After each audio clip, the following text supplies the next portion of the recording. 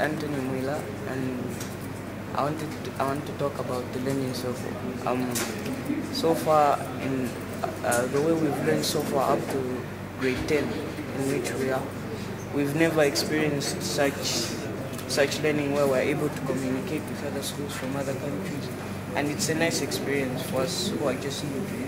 Um, we participated with uh, different countries, countries like uh, Latvia, Hungary, um, South Africa.